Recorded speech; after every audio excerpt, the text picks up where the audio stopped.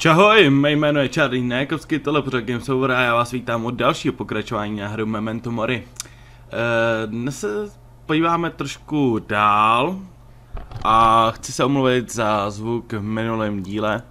Myslím si, že to bylo udělaný editem, protože když jsem se na video koukal v původním, tak to tak nebylo. A po editu už se to tam takhle prcalo a bylo to strašný. Přiznávám, pokusím se to už neudělat a trošku jakoby se dá dokupit. Tak, Huh, tím bych to chtěl ukončit tohle.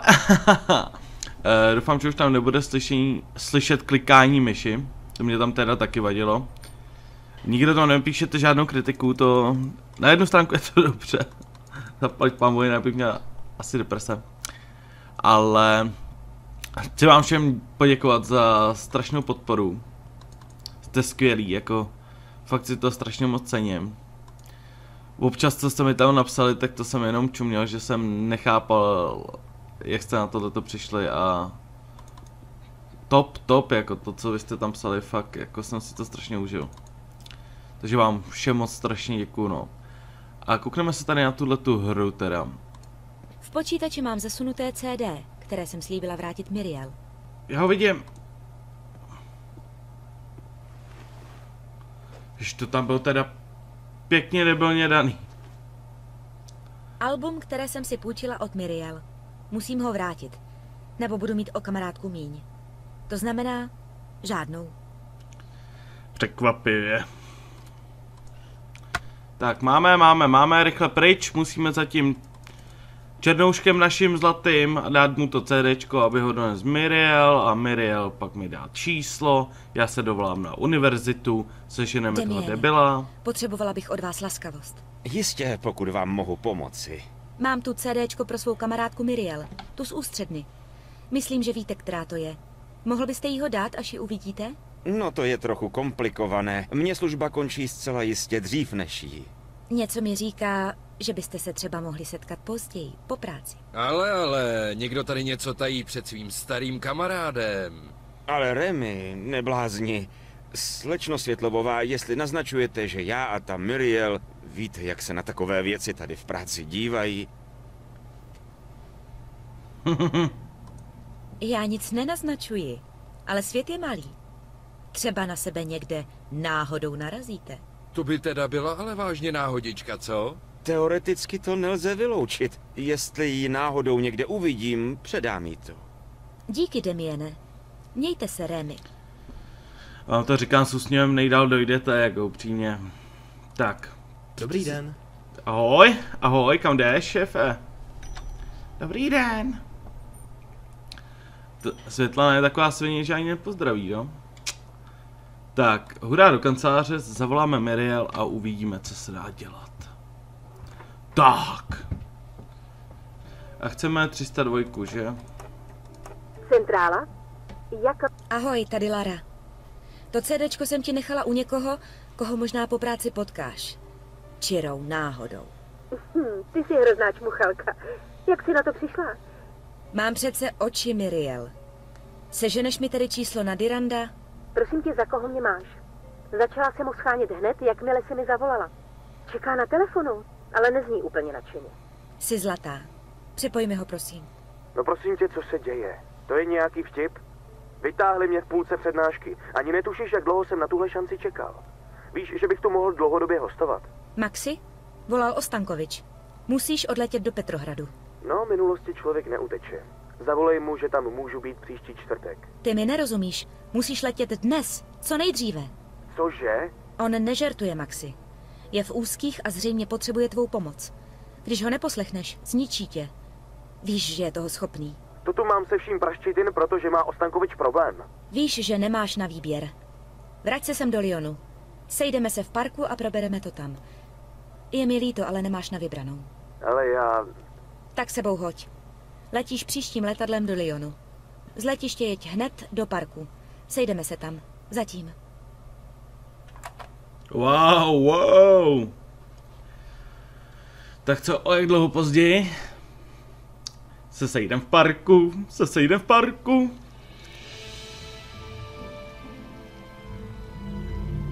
No, to by šlo. O čtyři hodiny později. Tak co pak nám řekneš? Dirandy. Ahoj. Jsem ráda, že... Jeden důvod. Řekni mi jeden jediný pádný důvod, proč bych měl přiběhnout jako pes, když si Ostankovič vzpomene mě zavolat. Maxi, ten důvod přece známe oba. Vždyť víš, že si nemůžeš dovolit ho neposlechnout. Sám si s tím souhlasil. Dobře, udělal jsem chybu. Už jsem mu pomohl několikrát. Jak dlouho tohle ještě potrvá? Ty jsi neudělal chybu, Maxi. Udělal si velkou chybu. Padělal si obrazy v ceně za desítky milionů dolarů a prodával je rychle s bohatým manažérům. A u toho tě načapali. Snažit se drze udat svůj padělek do ermitáže, to je šílenství. Ale já jsem samozřejmě vděčný, že to nakonec dopadlo takhle. A nemyslí si, že zapomínám, kdo to zařídil, ale už jsem to snad odčinil. Ten případ se dá kdykoliv znovu otevřít a ty víš, že on je toho schopen. Dokud to prostě celé nesmaže, nemáš na výběr. Ale slibuji ti, že když mu ještě jednou pomůžeš, udělám všechno pro to, aby tě pak nechal. Vyskytly se nějaké problémy v ermitáži. Asi potřebuje nějakou expertízu. Tak to asi stejně nemám moc na vybranou, co? Sakra. No dobře, pojedu. Fajn. S vízem si nedělej starosti. Pojedeš ve speciálním režimu. Mám tu pro tebe doklad. Když je zapotřebí něco rychle zařídit, nikdo se mu nevyrovná. To je opravdu vynikající. No, tak se tu měj. Budu na tebe myslet. Dávej na sebe pozor. Na půl cesty mezi západem a východem tažený za vodítko spletené z hříchů minulosti. Kdo drží v rukou tvůj osud, Maxi? Nad tebou se zdvihá stín. Dobře, že ho nevidíš. Zatím.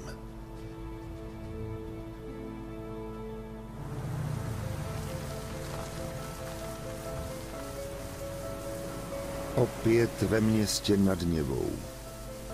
Vidíš, jak plyne do dálky? Už nikdy se nevrátí tam, kudy jednou prošla.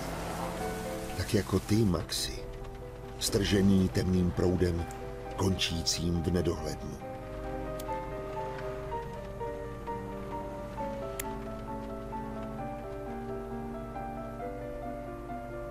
Здравствуйте.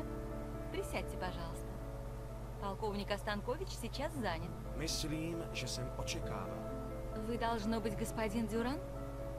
Надеюсь, поездка сюда была приятной. Cesta nebyla špatná, ale až poletím zpátky, bude nepochybně lepší. Понятно. Что же, полковник ждет вас?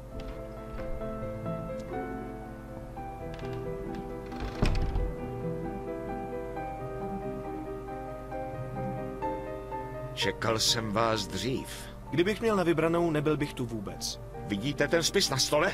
To je váš spis. A ten říká, že odmítnout mé pozvání by pro vás mohlo mít poměrně dramatické následky.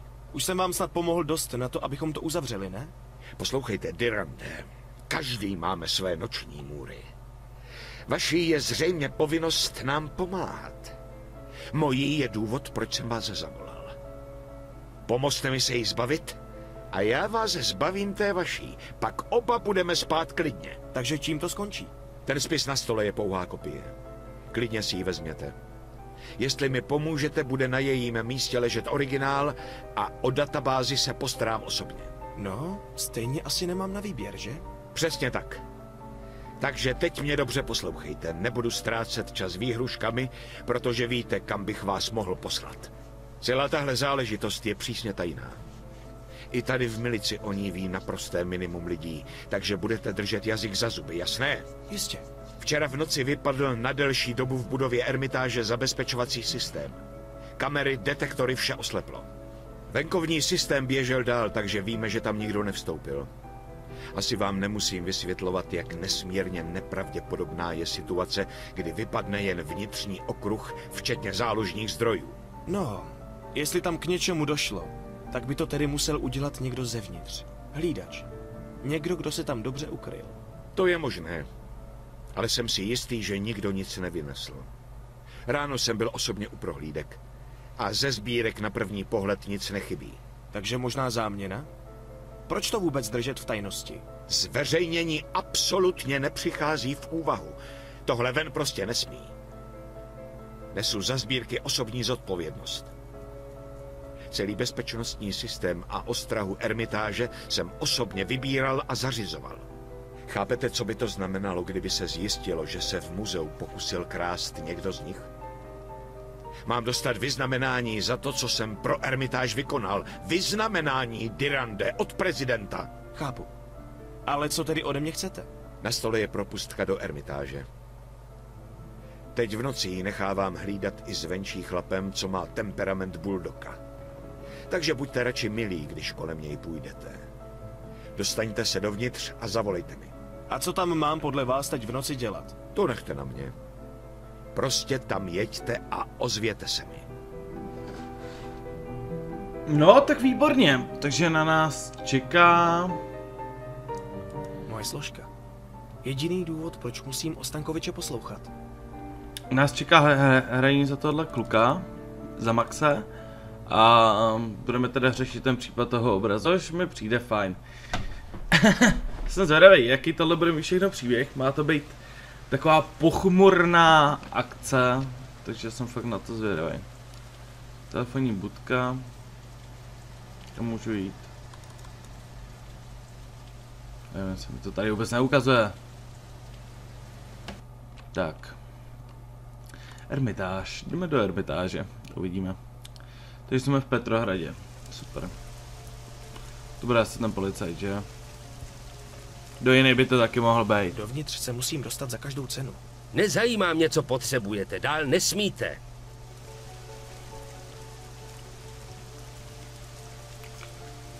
No tak nejsem blbej. Jestli pak víte, proč mě tam nechce pustit. proč mě tam ten šulen asi nechce pustit. Je to těžký, no. Ostankovič. Ano, Dirande. Zapomněl jsem tady tu propusku, ne? Ježiš, to kdybych mu řekl, ten by se asi posral, jsem myslel. Propustka do Ermitáže. Tu budu jistě potřebovat. No já si myslím. Tak. Co je to tady na tom stole?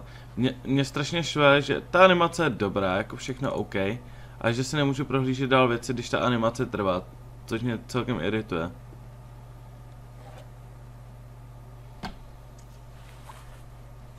Tyhle prostředí fakt dobrý, dobrý. Dirande, nechtěl byste sebou hnout a vyrazit?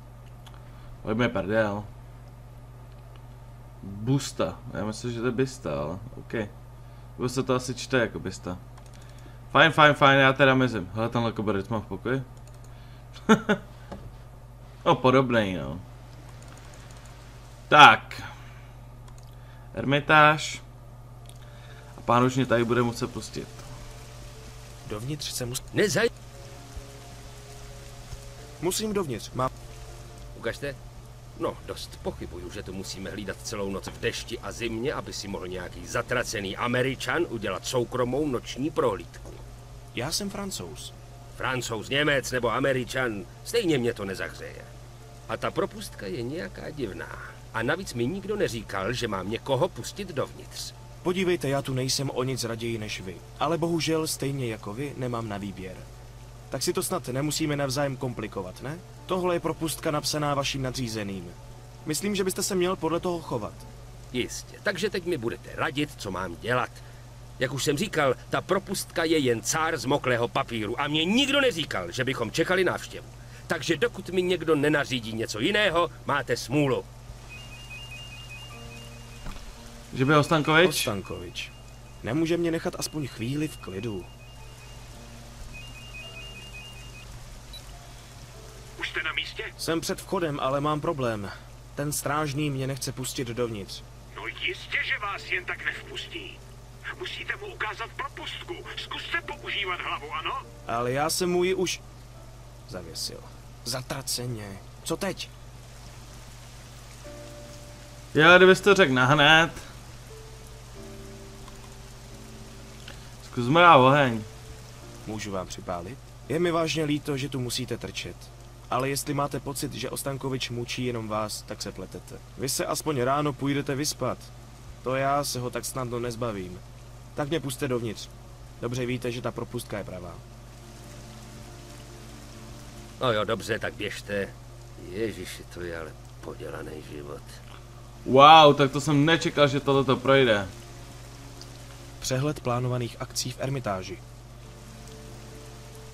Tak to čumím, to čumím, že mě to tam pustilo, jsou soší. Strhost tvarů v kontrastu s historickým nádvořím Zimního paláce. Já ne... chápu, co tím chtěl ukázat, vole, ale nevím, co tím chtěl říct. Autor.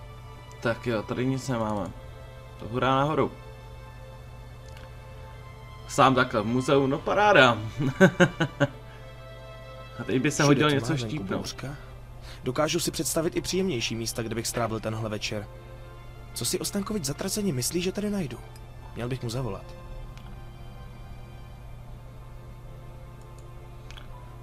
Mám mu zavolat.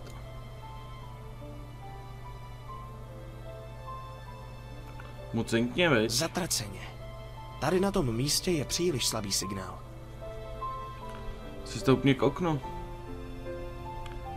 Serem na něj, volat mu nebudem, prostě jedem.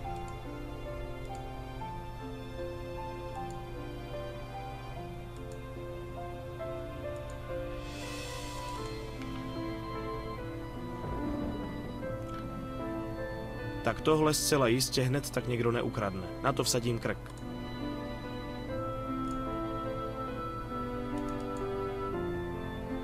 Že by to šlo u okna. Tu, jo, to bych celkem čuměl. Byla úplně náhoda, že jsem na to klik. Tady se aspoň chvílemi objevuje dostatečně silný signál na to, abych si zavolal. Snad to vydrží.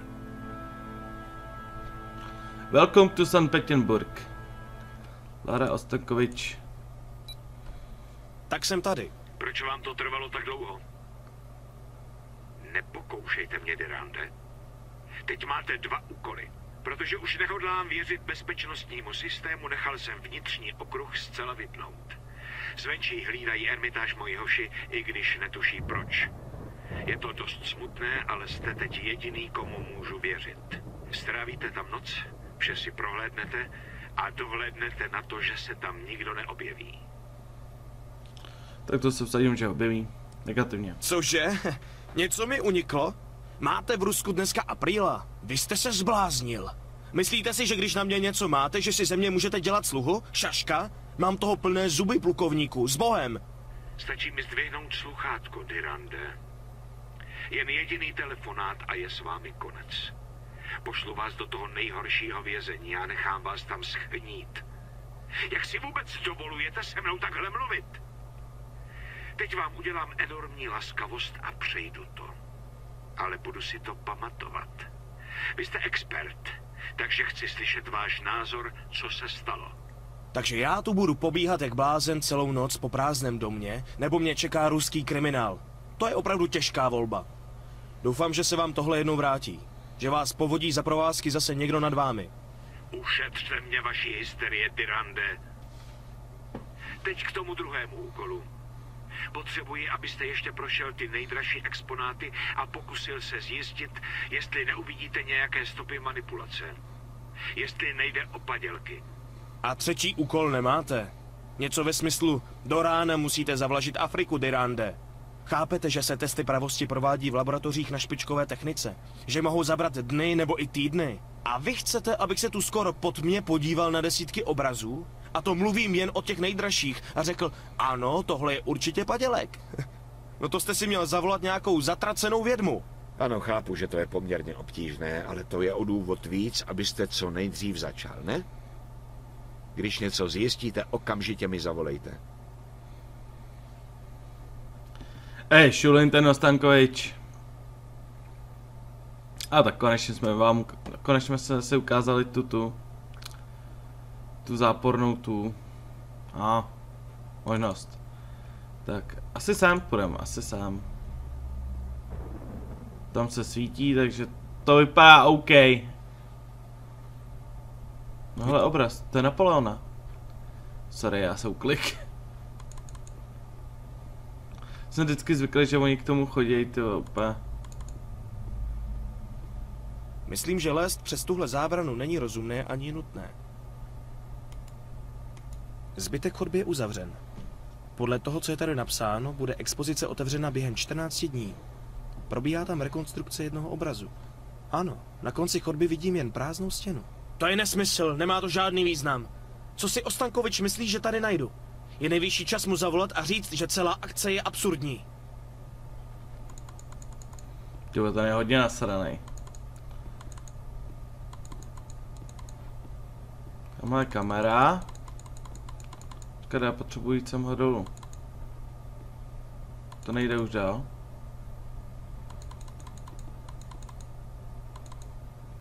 Hm, tak zavoláme no. Se nedá svítit.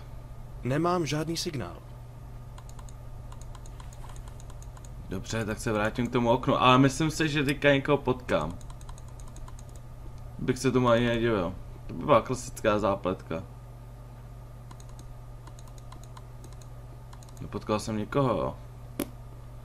To se divím. Nemyslím, že bych chtěl okno od... A jak je zase v klidu, ne? Zavoláme Ostankovičovi. Co vám řekne ten starý vydřejuch?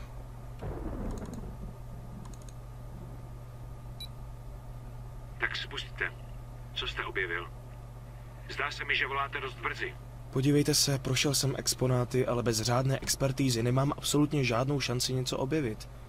Jediné, co mě napadlo, je ta uzavřená chodba v hale Petra Velikého. Co se stalo s tím obrazem? Předevčírem došlo k poškození rámu obrazu.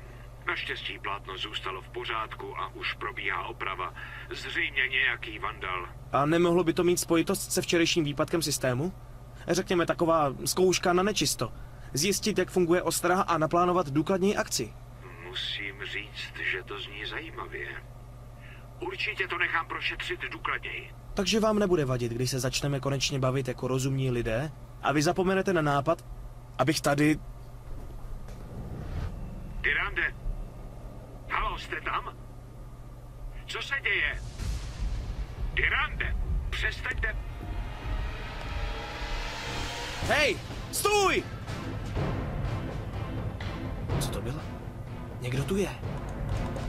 Hezky, hezky konečně akce. Cože?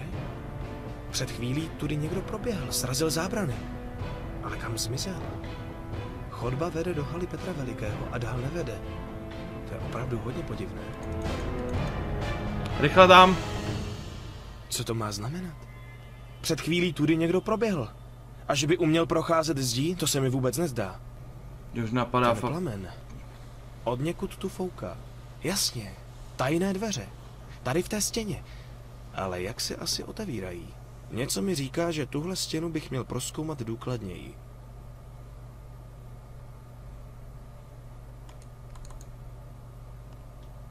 Jsou to zcela jistě tajné dveře. Ale nemohu je otevřít.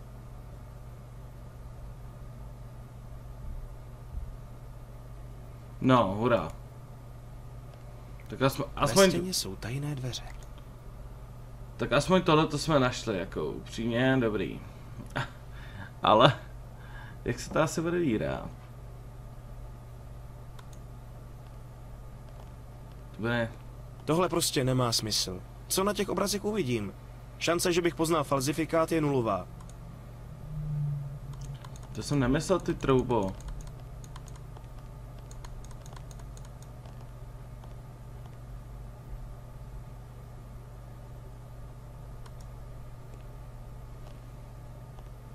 Zdá se, že tam je škvíra. Ale co si s ním mám počít? Strč tam péro. To je zvláštní. Jakoby tady dole u země od někud foukalo. Musí tam být škvíra.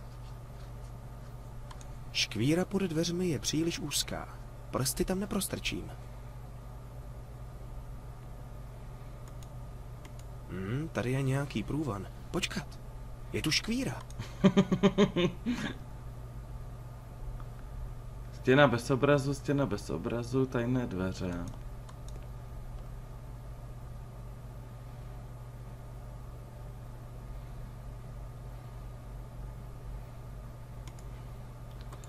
Já něco budu potřebovat, to je úplně jasný. Ale co? Co bych tady asi mohl potřebovat tady v této chodbě? A hele, Vláčet se obrazárnu s tímhle těžkým kovovým sloupkem se mi nezdá jako dobrý nápad. Nemůžu ho vyšroubovat. Je příliš dotažený. Pevný kus provazu. To se vždy hodí. Pro tenhle provaz najdu jistě i lep... Nemůžu ho vyšroubovat. aha, že?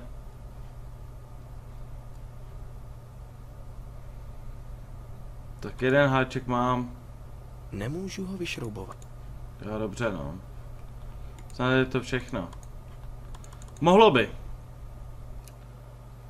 A tady tyhle ty dvě věci, ne, ne nespojím. Dobrý. Tak, kam pak to asi vede?